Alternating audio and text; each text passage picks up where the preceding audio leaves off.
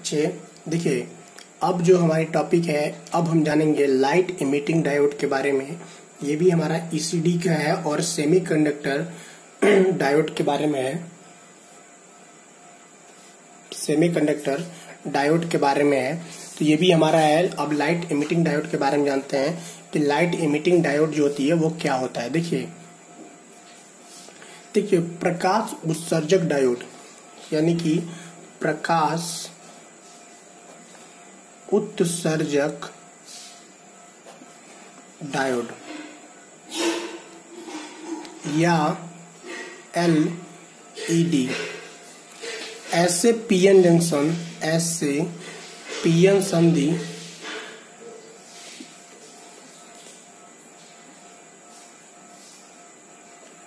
Diode होते हैं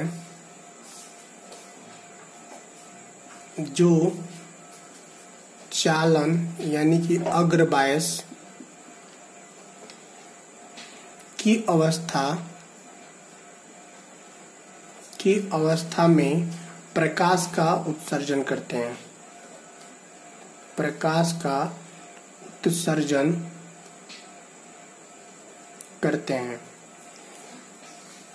देखिए लाइट इमिटिंग डायोड ऐसे पीएन संधि डायोड होते हैं जो चलन, यानी कि फॉरवर्ड बायस की अवस्था में प्रकाश का उत्सर्जन करते हैं।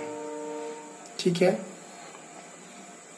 देखिए, एक डायोड किस प्रकार से प्रकाश का उत्सर्जन कर सकता है? एक अग्रवायस डायोड में जंक्शन के पास वाले क्षेत्र में इलेक्ट्रॉन व होल्स का पुनः संयोग, यानी कि इलेक्ट्रॉन होल्स का रिकम्बिनेशन होता रहता है। और इस इलेक्ट्रॉन और होल्स के संयोग से इलेक्ट्रॉन उच्च ऊर्जा स्तर, यानी कि higher energy level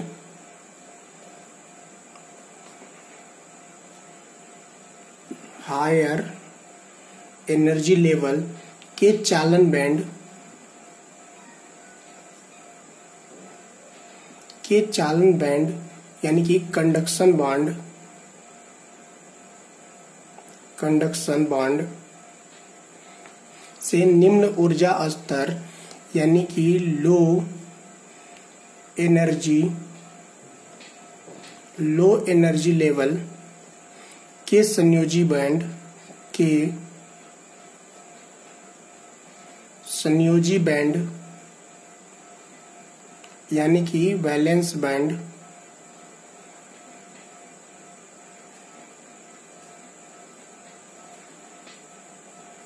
आता है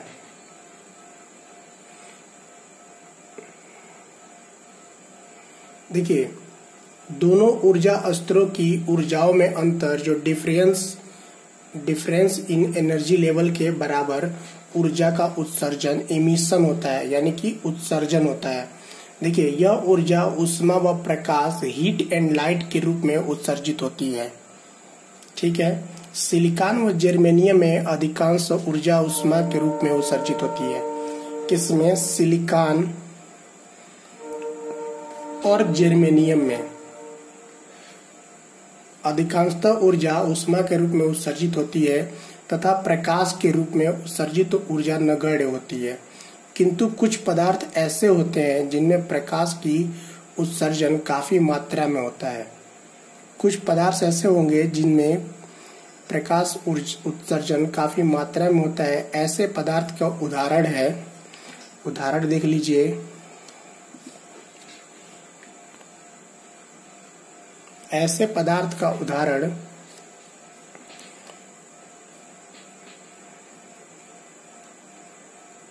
एसपी यानी कि गैलियम आर्सेनाइड फास फाइड उसके बाद आपका गैलियम, यानी कि गैलियम फास्फाइड, आदि, अतः एलईडी बनाने में इन पदार्थों का प्रयोग किया जाता है। क्या किया जाता है? एलईडी बनाने में एलईडी बनाने में इन पदार्थों का इन पदार्थों का प्रयोग किया जाता है, ठीक है? देखिए, एलईडी की फॉरवर्ड वोल्टेज जो होती है, वो लगभग एक से दो वोल्ट के मध्य होती है। क्या होती है? फॉरवर्ड वोल्टेज जो होती है, एक से दो वोल्ट के मध्य होती है। एलईडी को परिपथ में लगाते समय उसके श्रेणी में प्रतिरोध लगाना चाहिए। एलईडी को अगर हम सर्किट में लगाते हैं तो उसके सीरीज़ में, यानी कि श्रेणी में हमें क्या लगाना चाहिए? रेजिस्टेंस लगाना चाहिए। जिससे एलईडी में प्रवाहित होने वाली धारा सीमित रहे तथा एलईडी नष्ट न हो। एलईडी नष्ट न हो। इसके लिए हम रेजिस्टेंस का प्रयोग करते हैं। देखिए C O C Q Y one one eight व C R Y twenty four LED के उदाहरण हैं।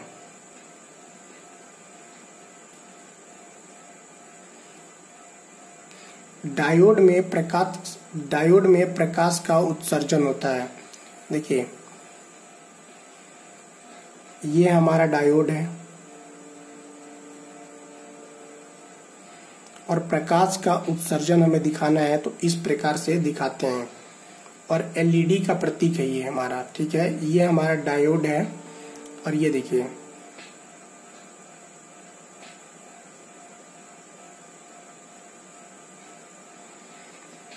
A P C D E F G ये क्या है? ये हमारा है एलईडी की प्रतीक। और ये हमारा सप्त खंडीय डिस्प्ले ये हमारा है सप्तखंडीय डिस्प्ले देखिए, थोड़ा एलईडी की फीचर्स के बारे में जान लेते हैं कि एलईडी की फीचर्स क्या क्या होते हैं, यानी कि विशेषताएँ क्या क्या होती हैं।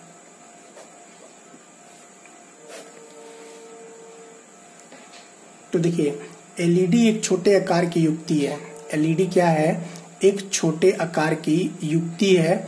एलईडी को एक ग्रुप में कई एलईडी हो मिला करके अंक या वर्णमाला के अक्षर अल्फ़ाबेट, यानी प्रदर्शित किए जा सकते हैं। ठीक है?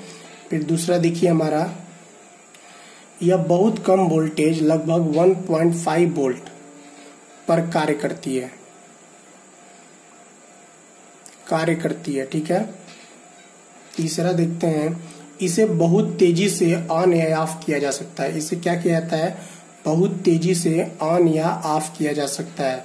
चौथा क्या हो सकता है? इसकी फीचर विशेषता, प्रकाश की मात्रा को वोल्टेज परिवर्तित करके कंट्रोल किया जा सकता कंट्रोल किया जा सकता है। फिफ्थ नंबर देखते हैं क्या होता है? यह मज़बूत युक्ति है, यानी कि स्ट्रॉन्ग डिवाइस है।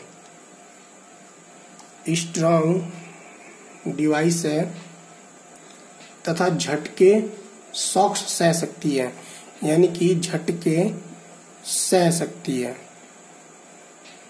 सह सकती है। फिर देखेंगे हम सिक्स नंबर तो तापमान बढ़ने पर भी भली भांति कार्य करती है। अगर टेम्परेचर इंक्रीज होगी, बढ़ेगा तो भी यह बेहतर ढंग से कार्य करती है। इसका ताप रेंज लगभग ज़ीरो से लेके पचहत्तर डिग्री सेंटीग्रेड तक होती है। तक होती है। सेवेंथ नंबर देख, देखते हैं। इसको बनाना काफ़ी आसान है। इसको बनाना काफ़ी आसान होता है। एट नंबर है हमारा, कई रंगों जैसे लाल, रेड ग्रीन ऑरेंज इत्यादि में उपलब्ध होते हैं। एलईडी जो होता है, कई रंगों में उपलब्ध होता है। जैसे लाल हरा नारंगी में उपलब्ध होता है।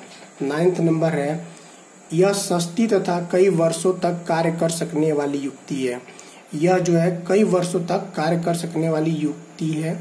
अब देखिए, इसकी हम थोड़ा एप्लीकेशन देख लेते हैं कि एप्लीकेशन इसकी क्या है। इसके अनुप्रयोग कहाँ कहाँ है? एलईडी का। ये भी देख लेते हैं थोड़ा सा जल्दी से। तो देखिए, इसका जो अनुप्रयोग है इंडिकेटर में करते हैं। इंडिकेटर्स में। दूसरा हम करते हैं डिस्प्ले बोर्ड में। डिस्प्ले बोर्ड में। तीसरा हम करते हैं डिजिटल घड़िया में। डिजिटल वॉच में। डिजिटल वॉचेज में इसका यूज़ किया जाता है। ठीक है तो ये हमारा हो गया लाइट इमिटिंग डायोड के बारे में हम देख लिए कि लाइट इमिटिंग डायोड क्या होती है। तो फिर हम अगले क्लास में आपसे मिलते हैं, तब तक